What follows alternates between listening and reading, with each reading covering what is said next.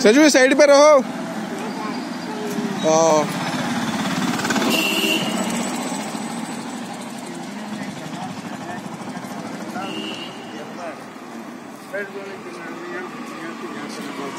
ਕਰੀ ਬਨੇ ਬਾਬਾ ਜੀ ਸਤਿ ਸ਼੍ਰੀ ਅਕਾਲ ਜੀ ਸਤਿ ਸ੍ਰੀ ਅਕਾਲ ਕੀ ਹਾਲ ਹੈ ਬਾਹਰ ਚੜ੍ਹਦੀ ਕਲਾ ਜੀ ਚਲੋ ਚੱਲੀ ਗਈ ਹੋ ਗਿਆ ਤੇ ਤਾਂ ਮਿਲ ਗਿਆ ਹਾਂਜੀ ਹਾਂਜੀ ਹੋ ਗਈ ਜੀ ਚਲੋ ਵਧੀਆ 7 ਤਰੀਕ ਆ ਗਈ ਚਲ ਚੰਗੀ ਹੋਰ ਠੀਕ ਠਾਕ ਜੀ ਵੀ ਠੀਕ ਠੀਕ ਠਾਕ ਹੋਣਾ? ਸ਼ੁਕਰ ਹੈ ਮਾਲਕ ਦਾ। ਬਸ ਸ਼ੁਕਰ ਹੈ ਜੀ ਸ਼ੁਕਰ ਹੀ ਕਰਨਾ ਚਾਹੀਦਾ ਸਹੀ ਗੱਲ ਹੈ। ਮੈਂ ਹੁਣ ਤੇ ਹਾਂਜੀ। ਬੜੀਆਂ ਛਾਲਾਂ ਮਾਰੀਆਂ ਨੇ। ਠੀਕ ਹੈ ਜੀ। ਹਾਂਜੀ। ਹਾਂਜੀ। ਵੈਸੇ ਪ- ਪੁੱਛਣਾ ਨਹੀਂ ਚਾਹੀਦਾ ਕਿੰਨੇ ਸਾਲ ਦੇ ਹੋ ਗਏ ਬਾਬਾ ਜੀ ਤੁਸੀਂ?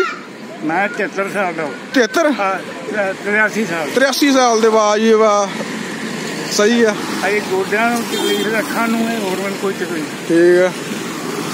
ਖਾਣਾ ਪੀਣਾ ਮੈਂ ਖਾ ਲੈਣਾ ਸਭ ਕੁਝ ਕਰ ਨਹੀਂ ਲੈਣਾ ਨਹੀਂ ਸਹੀ ਹੈ ਸਹੀ ਹੈ। ਸੌਂਦਾ ਠੀਕ ਆ। ਠੀਕ ਹੈ ਮਾਲਕ ਦੀ ਕਿਰਪਾ। ਕਿਰਪਾ ਜੀ ਕਿਰਪਾ। ਬਗੈਰ ਕਿਰਪਾ ਦੇ ਕੁਝ ਵੀ ਨਹੀਂ ਹੈਗਾ। ਹਾਂ ਜੀ ਕੁਝ ਨਹੀਂ ਹੁਣੇ ਚ ਬੈਠਾਂਗਾ ਜਿਹੜੀ ਕਿਤੇ ਕੋਲ ਚੱਟ ਚੱਲਾਂ ਉਹ ਮੰਗਾਂਗਾ। ਠੀਕ ਹੈ। ਸਹੀ ਹੈ। ਠੀਕ ਹੋ ਗਿਆ ਪਾਸ? ਹਾਂਜੀ ਐਡਮਿਸ਼ਨ ਕਰਵਾਤੀ ਹੈਗੀ ਹੈ। ਚੰਗਾ ਹੀ ਕੀਤਾ। ਹੈ। ਹਾਂਜੀ।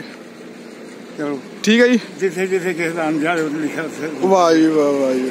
ਜਿੱਥੇ ਜਿੱਥੇ ਜਿਹੜਾ ਅੰਜਲ ਲਿਖਿਆ ਉੱਥੇ ਉੱਥੇ ਪਹੁੰਚਣਾ ਉਹਨੇ। ਬਾਹਰ ਲਿਖਿਆ ਬਾਹਰ ਪੰਦੇ ਨੇ ਧੱਕੇ ਖਾਂਦੇ ਹੋਏ। ਹੂੰ। ਮੈਂ ਕਹਿੰਦਾ। ਹੂੰ।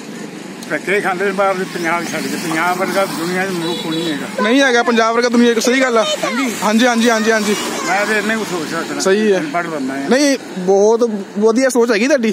ਚਲੋ ਉਹ ਤਾਂ ਮਾਲਕ ਨੇ ਲਿਖੀ ਠੀਕ ਹੈ ਜੀ। ਆ ਆ ਗੁੜੀਆ ਦੇਖੋ ਜੀ ਐਡਮਿਸ਼ਨ ਕਰਾਈ ਆ ਗੁੜੀਆ ਹੈਗੀ ਹੈ। ਸ਼ਾਬਾਸ਼ ਜਾਂਦਾ ਚਲੋ ਬਾਬਾ ਜੀ ਕੋ ਬਾਏ ਬਾਏ ਕਰੋ। ਬਾਏ ਕਿਉਂ ਮਾਲਕ ਸਕੂਲ ਦੇ।